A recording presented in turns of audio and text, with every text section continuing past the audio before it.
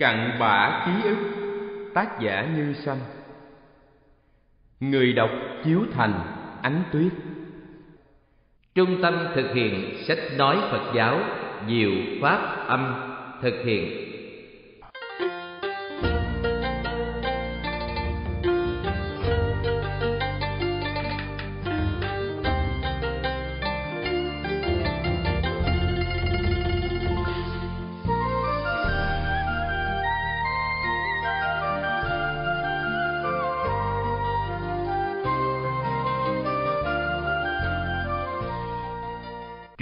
88 Đến lúc tàn hư.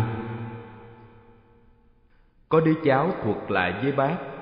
Bác hai, hôm đó trời sáng nắng ráo Con gà mái của cháu đang bị bệnh Khập khểnh dẫn bầy con mới nở độ 10 hôm đi kiếm ăn. Nó đến bên đống rác bươi một lõm trống Rồi túc túc kêu con nó đến kiếm mồi ăn. Mệt quá nó nằm ngoẻo đầu trên đất. Dây lát con nó ăn hết mồi đứng ngơ ngác nó gượng đứng lên bươi thêm một lõm nữa rồi cũng nằm xuống nghỉ. Đến lần thứ ba đó bác, nó trỗi dậy cố sức bươi thêm một lõm to gấp đôi lần trước rồi túc túc kêu con lại ăn. Tưởng nó nghĩ khỏe nên bươi mạnh dạn hơn trước. Nào ngờ nó cố gắng lần cuối cùng rồi chùi đầu xuống đất, chân duỗi ra và trút hơi thở cuối cùng. Chuyện con gà vậy mà làm cháu bùi ngùi cả mấy hôm mà xúc động trước tình thương lo của mẹ đối với con đến lúc tàn hơi bỗng nhiên cháu khẽ gọi lên hai tiếng mẹ ơi!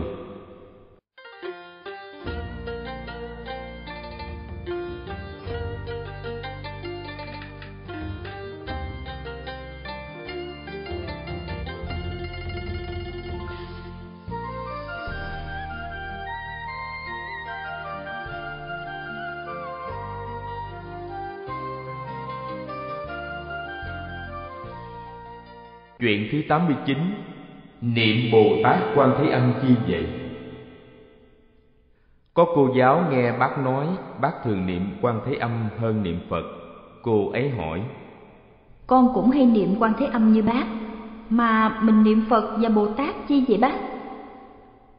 Bác không nói niệm Phật và Bồ Tát để cầu Phật độ mình tai qua nạn khỏi, mà nói Ờ thì niệm Bồ Tát để nương theo đức từ bi, hỷ xã, Cứu khổ, cứu nạn của Ngài mà tu theo. Mình có gieo nhân lành giúp đỡ người Thì sẽ gặt được quả tốt, Có lâm nạn sẽ có người cứu giúp cho. Và niệm như vậy mới có lợi ích thiết thực. Cô ấy tỏ vẻ hài lòng.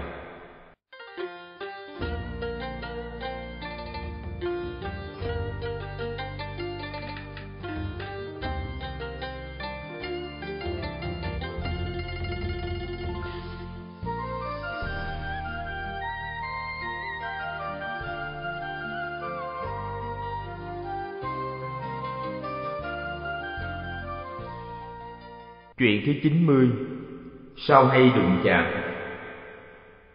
Có ông bạn hỏi bác hai Ờ anh hai à Tại sao mình đi đâu cũng hay bị đụng chạm chống đối quá? Mình không ráng nhẫn, chắc phải có lắm chuyện xích mích phiền phức đó anh. Bác đáp, Tại cái ngã của mình to quá nên hay đụng chạm cọ quẹt chứ gì. Tớp nhỏ lại một chút sẽ ít đụng chạm rắc rối. Đến chừng nào chúng ta được vô ngã sẽ mặc tình tự tại dạo khắp bốn phương hả? Ông bạn cười hỏi tiếp. nhẫn là nhịn chịu rồi, còn nhẫn ba la mật là sao nữa vậy anh? Còn nhẫn ba la mật quá tầm giới của mình, chờ đến mức trưởng thành nào đó mới có thể thực hiện được. À, tạm dụ như người mẹ thấy con bò ra gần mé ao, lật đật chạy đến bế nó vào, nó không biết ơn còn dãy nảy cào cấu mẹ nó. Vậy mà bà vẫn nhẫn chịu. Nhẫn ở đây là một lối nói, chứ thật ra bà chẳng có dằn nhẫn gì cả, vì tình thương chan hòa cùng khắp. Nhẫn như vậy tạm gọi là nhẫn ba la mật.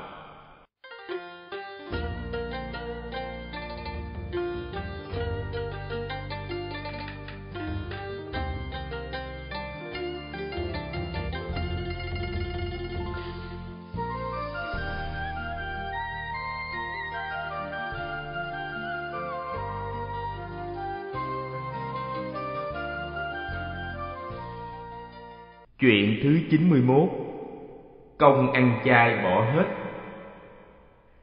Không rõ do sơ suất đã ăn lộn thức ăn mặn hay không một bà lão đến hỏi. Chú hai à mình ăn chay trường mà sơ ý ăn lộn đồ mặn. Vậy thì công ăn chay từ trước tới giờ bỏ hết rồi phải không chú? Bác không nói hết hay còn mà muốn khơi dậy lòng hỷ xả của bà nên nói ơi tôi ăn chay cũng lâu lắm rồi. Mà ăn xong bữa nào là bỏ liền bữa nấy, đâu có đợi tới ăn lộn mới bỏ. Bà cười thỏa mãn.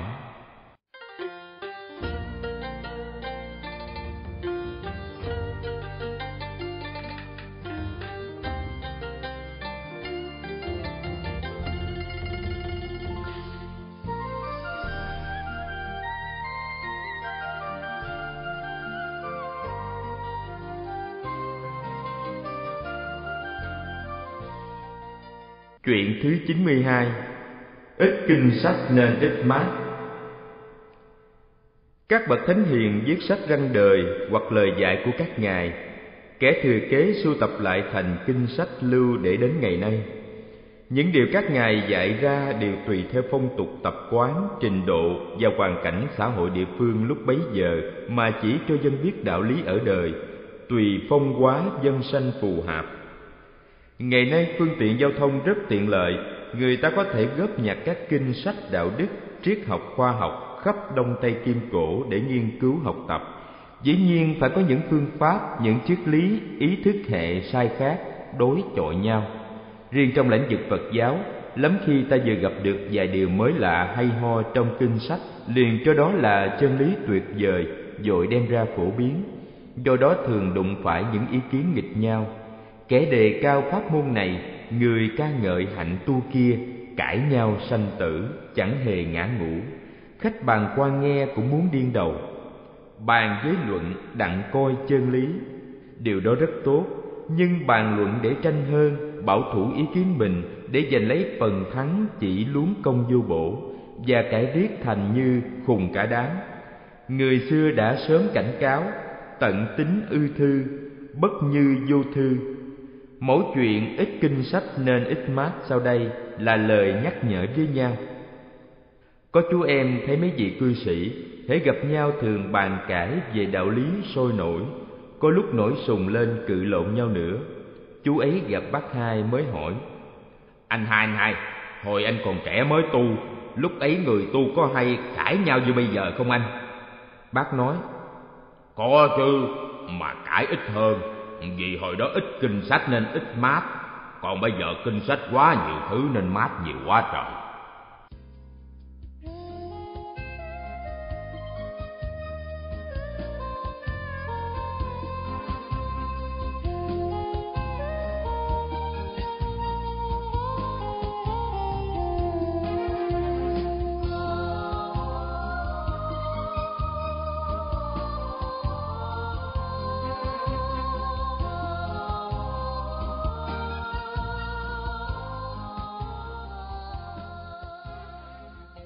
Chuyện thứ 93 Như mù đi đêm.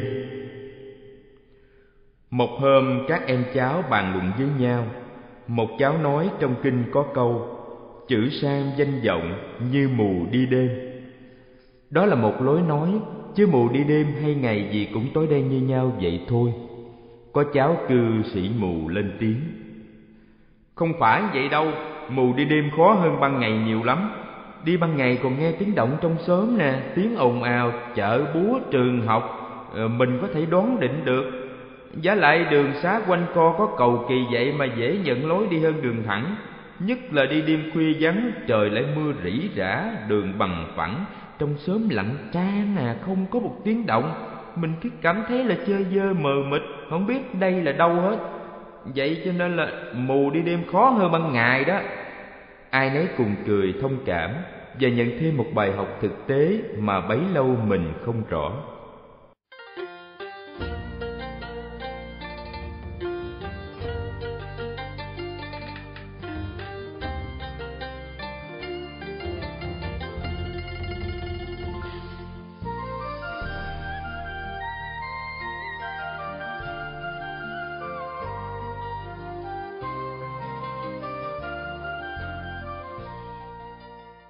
Thứ 94 Tự nhắc mình dễ hơn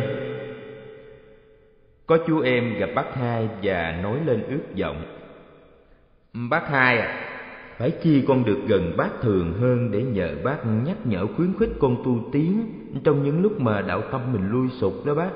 Vậy đỡ biết bao nhiêu. Bác nói, Thôi đi, mình tự nhắc nhở mình mau hơn, chờ người ngoài nhắc lâu lắm. Ví dụ nửa đêm cháu chợt nghĩ quấy gì đó, ai nhắc cho kịp. Cả nhà cười ồ.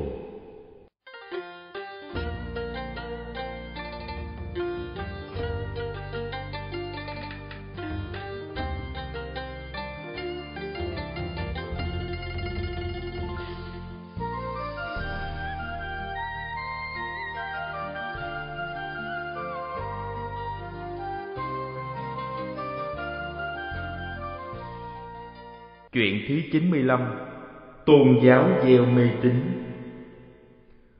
Có người hỏi bác hai Bác hai ơi, tôn giáo có gieo mê tín như lắm người nói vậy không bác? Tôn giáo sao hay gieo mê tín quá vậy? Chừng gỡ được cũng chạy di tróc giải à. Bác đáp Không phải vậy đâu. Mê tín là khởi nguyên của tôn giáo. Nếu không có mê tín sẽ không có tôn giáo có một điều chánh giáo thì dẫn người ta từ mê tín đến trí tín, từ bờ mê sang bến giác. Còn tà giáo thì gây mê mờ thêm, đưa người đi sâu vào mê lộ. Tóm lại cái gì mà mình chưa hiểu tường tận mà tin đều là mê tín cả. Dù là tin theo phật hay là khoa học cũng vậy à.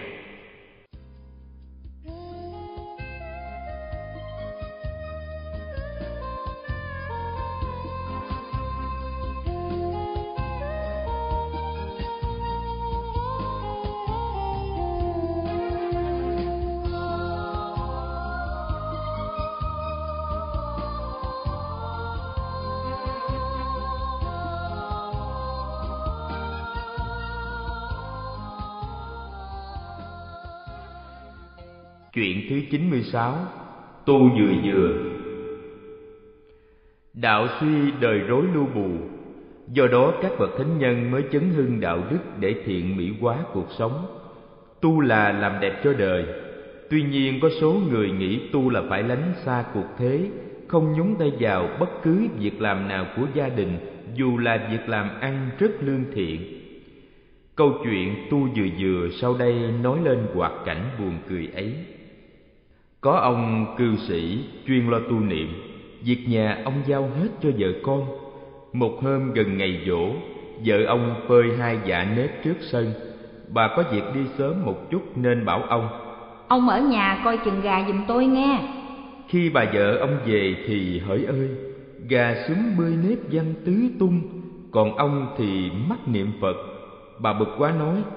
Ông ơi, ông tu vừa vừa cho vợ con nhờ với như vậy chết vợ chết con hết ông ơi!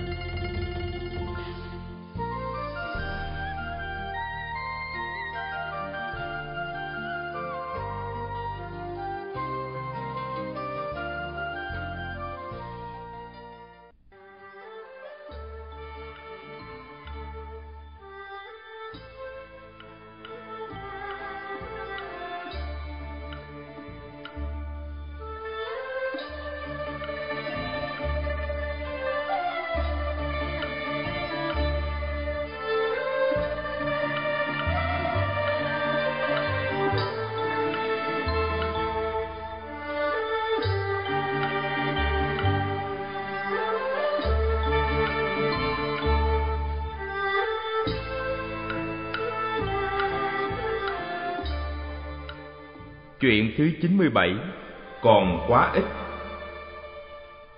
Trước sức tấn công mãnh liệt của địch thủ, Người võ sĩ nhu đạo không bao giờ tránh đỡ mà chỉ nhẹ lách.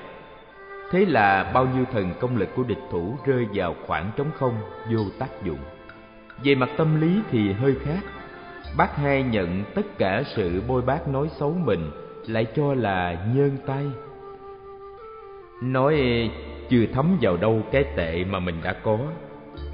Lối nhận tội nửa hư nửa thật làm xoa dịu sự căng thẳng giữa nhau và đồng thời vô hiệu hóa tác dụng những lời phê phán cay nghiệt của kẻ không ưa. Đó là ý nghĩa của câu chuyện còn quá ít sau đây. Có người quen mách lại, ai đó phê bình nói xấu bác hai đủ điều. Kể xong hỏi bác, người ta nói xấu anh vậy á, có đúng không? Bác nói cũng may họ nói đó hãy còn quá ít. Chứ nếu họ biết cái tệ của tôi như tôi tự biết mình á thì còn có nước độn thổ bỏ xứ đi luôn á. Chuyện thứ 98 tu là lánh nặng tìm nhẹ.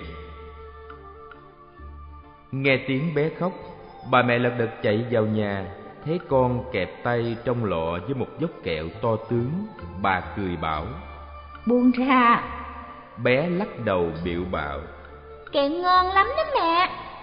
Buông. Lời nói rất gọn nhưng hành động buông bỏ không đơn giản.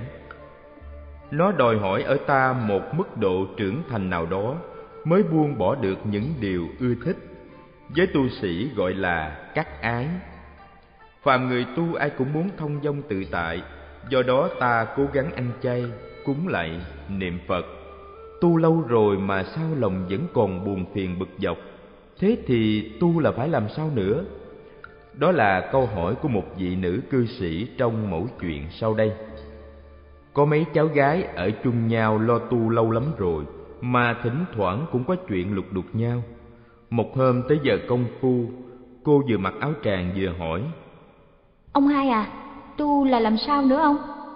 Bác cười nói tu là lánh nặng tìm nhẹ. Những cái về nặng nề bực dọc phiền muộn hãy buông bỏ đi. Đừng có ôm đồm chấp chứa, mệt lắm. Nó cười rồi đi công phu.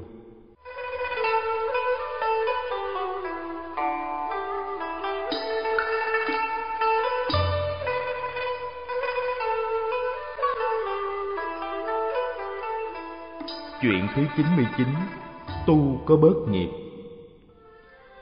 Đã mang lấy nghiệp vào thân Cũng đừng trách lẫn trời gần trời xa. Như thế tu có bớt nghiệp không? Thưa có. Dưới đây tác giả giải bài Minh chứng một cách cụ thể tu có bớt nghiệp Đúng như câu thơ của cụ Nguyễn Du. Có trời mà cũng có ta Tu là cội phúc, tình là dây oan. Tin nhận rõ ràng tu có bớt nghiệp ta hãy mau cải hối cho nguôi lửa nghiệp sớm tùng lương kiếp khỏi chìm sâu. Dưới đây là câu chuyện. Một đứa cháu bị bệnh tâm thần nhẹ trong thời gian bệnh phát nó đi cùng sớm đọc kinh niệm phật gian ngoài đường xá không sợ ai cả.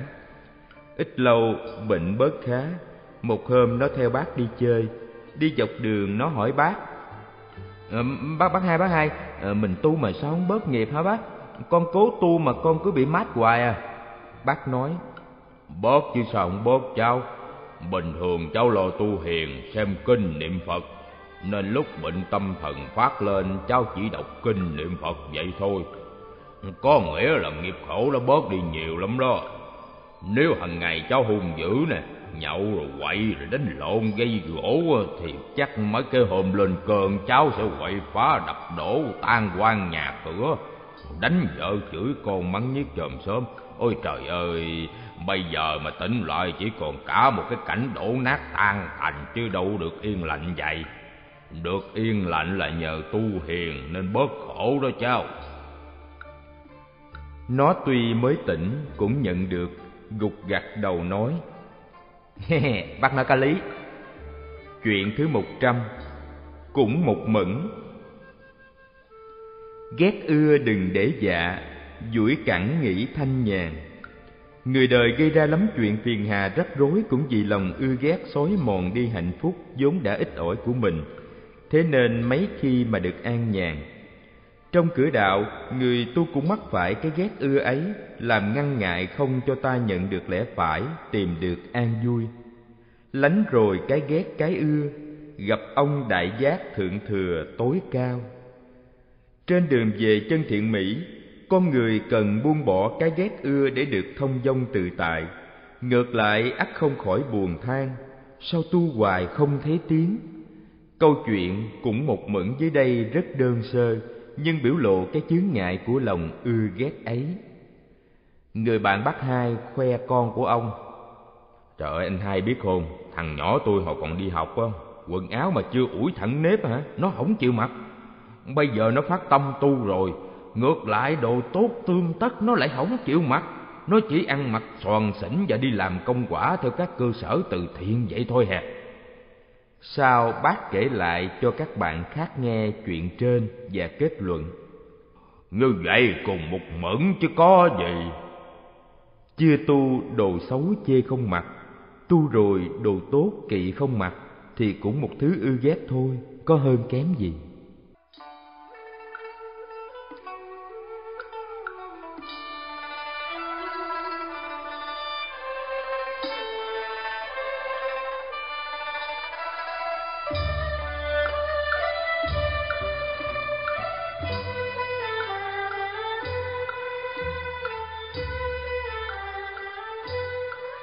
Chuyện thứ 101 Có tin chắc kiếp này siêu thoát. Có chàng cư sĩ ít nói Ngày đêm nôn nã tu hành Mong mau đắc quả. Bỗng một hôm chàng ta rêu rao là mình đã thành đạo. Y đi khắp xóm làng Giảng dạy đạo lý um sùm bát nhã Khuyên mọi người tu theo y sẽ kết quả nhanh chóng Tu cái rụp, thành Phật cái rụp, độ đời cái rụp cũng may, vài tháng sau y tỉnh trí lại. Việc tu hành cần phải, kiên tâm mới thấy cơ trời, Đừng gieo nửa buổi chiều thời muốn ăn. Đường tu bất luận mau lâu, Phải đạt đến công viên quả mãn, Phước huệ tròn đầy mới mong siêu thoát. Nếu ta quá nôn nóng, Rồi thời gian lần lượt trôi qua, Mãi không thấy gì, Tức niềm tin bị trao đảo. Dẫn đến bán đồ nhi phế uổng công. Hoặc quá bôn chôn e rồi phải thành phật cái rập, như chàng cư sĩ trên thì quả là tai hại. Lời giải đáp câu hỏi, có tin chắc kiếp này siêu thoát không? Nêu lên quan điểm tu hành không bị lệ thuộc vào yếu tố thời gian. Và câu chuyện như sau. Một hôm đến thăm người em bạn, trò chuyện dây lâu, bạn bắt hỏi à, anh hai à anh tu mà có tin chắc là kiếp này anh siêu thoát không? Bác đáp tôi tin tôi không nổi rồi. Vì thấy mình tu lôi thôi quá. Có điều dám quả quyết là không bao giờ lui sụp bỏ tu. Chẳng những kiếp này mà dù trải muôn kiếp nữa cũng vẫn tu. Bởi tu là hạnh phúc tu là làm đẹp cuộc đời cho nên không bao giờ thối chuyển còn cái chuyện tinh kiếp này siêu thoát hay không là cái điều tôi không có mấy quan tâm tới.